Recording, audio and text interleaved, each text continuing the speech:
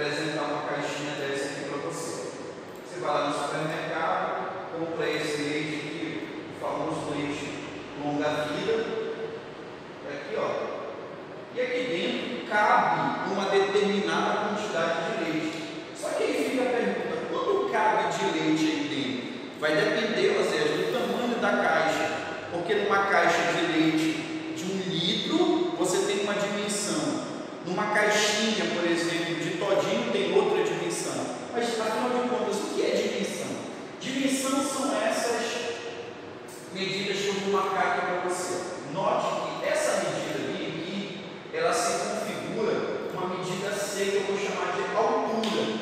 Essa altura, galera,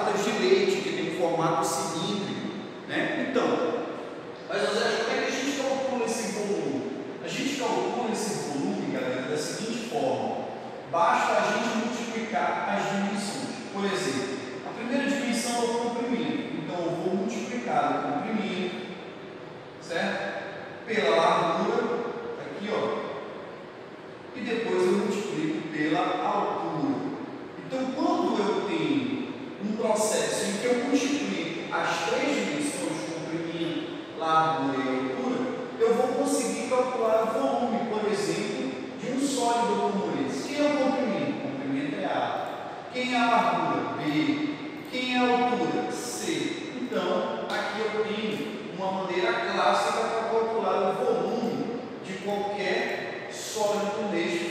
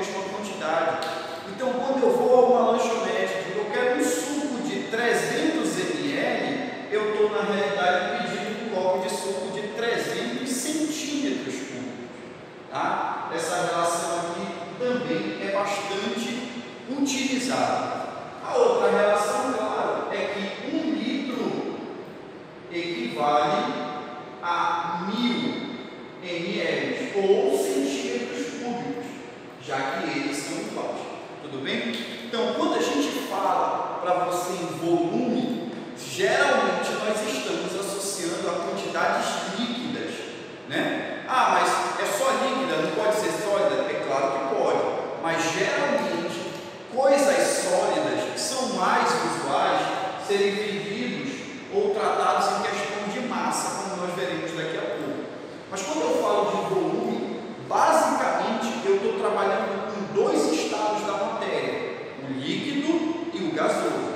Tudo bem? Então, fiquem atentos a esse tipo de unidade que nos serve. Tá legal? Agora, depois que a gente falou do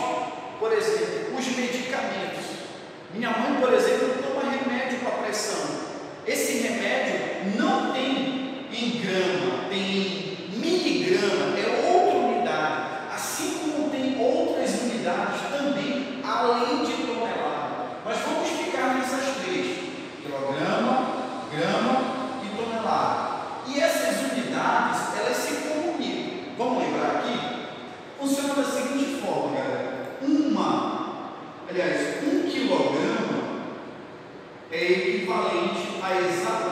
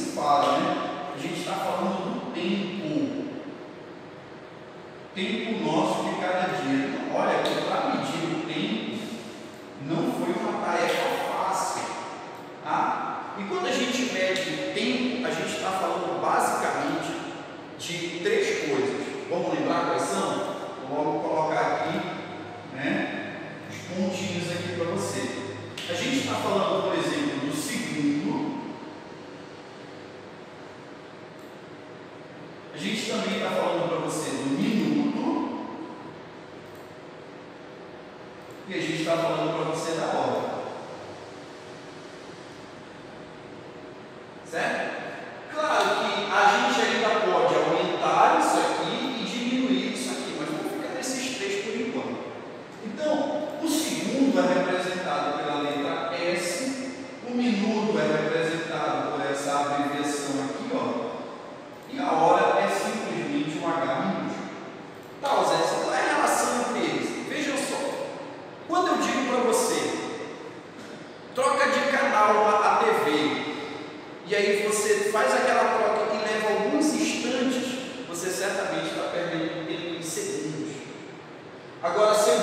você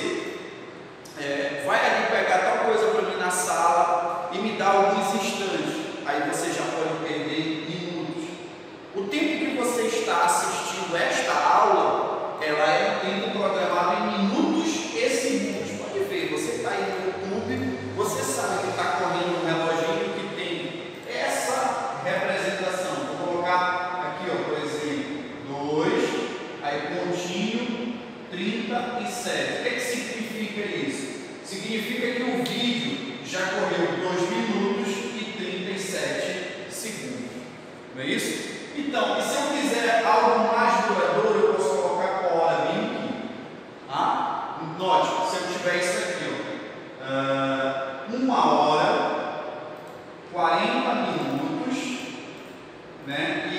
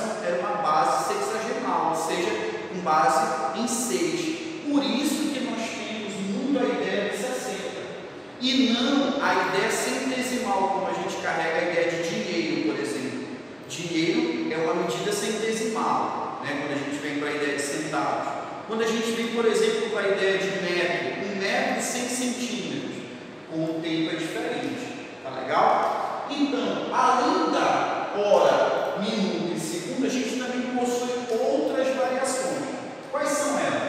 Por exemplo, a gente trabalha com a ideia de dia, nós sabemos que um dia tem quantas horas? 24 horas. Se eu quiser saber a quantidade de minutos em um dia, basta multiplicar 24 vezes 60 e eu vou notar que em um dia eu tenho 1440 minutos. E se eu quiser em segundos, eu multiplico novamente por 60 e assim vai.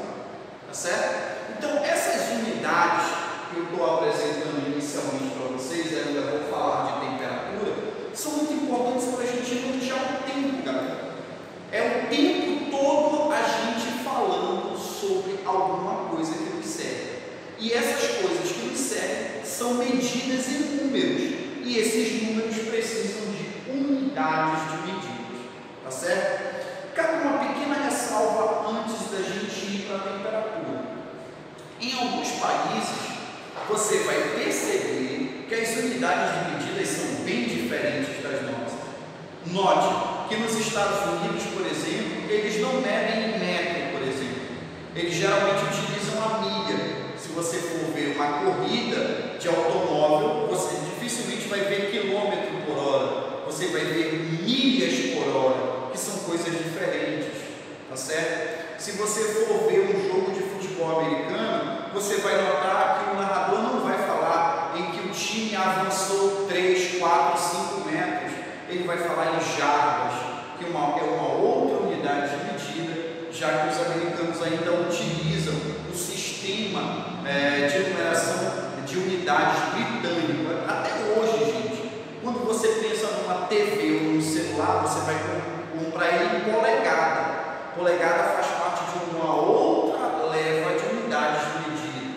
Você vai comprar uma central de ar para a sua casa, você vai pedir ela em BTU. O que é BTU? Unidade Britânica de Trabalho, Unidade Britânica de Energia. Então note que essas unidades elas podem variar no tempo e no espaço.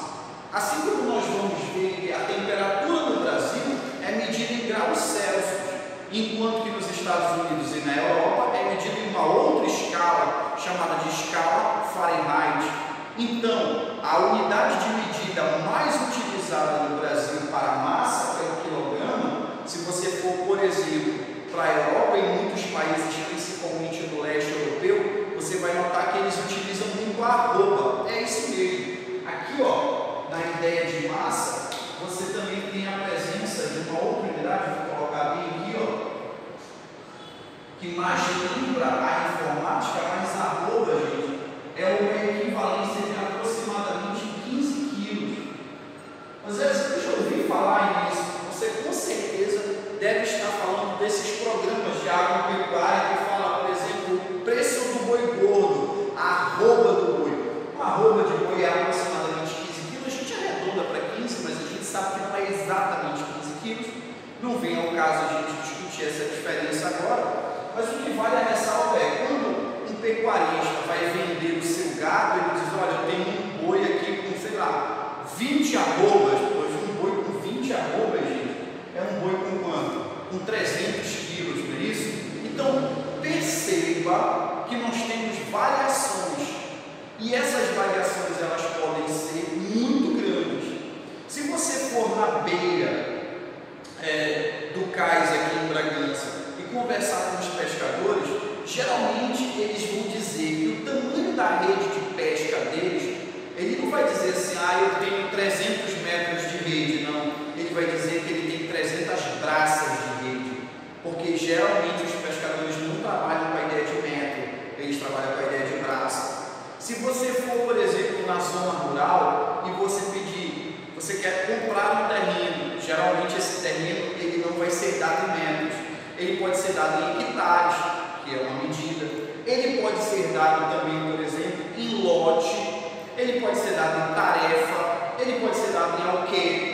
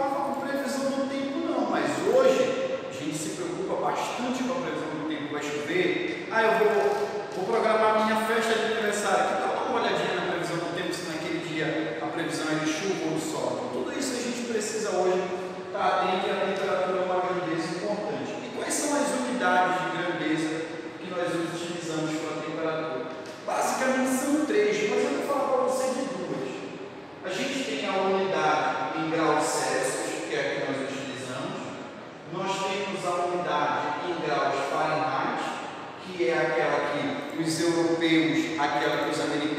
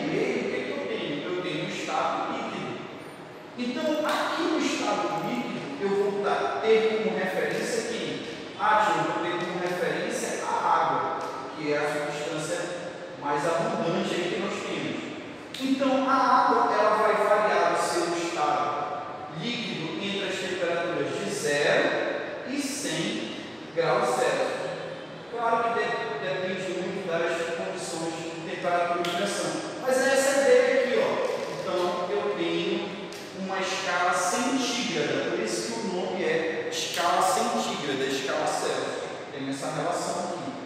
Então, quando você vê na TV a pessoa dizendo que a temperatura máxima em Belém é de 37 graus Celsius e a temperatura mínima em Belém está prevista para 32, você vai ter que observar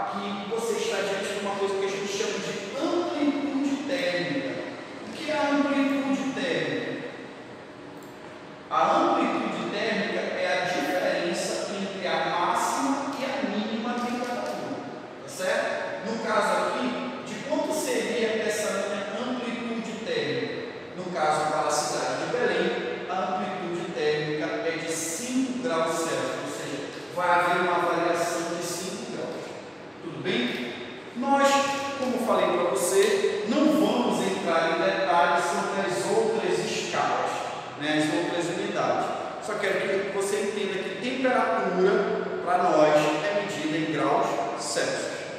Vale ressaltar algo muito simples, mas muito importante também, que é a seguinte situação. Dessas quatro grandezas aqui, a temperatura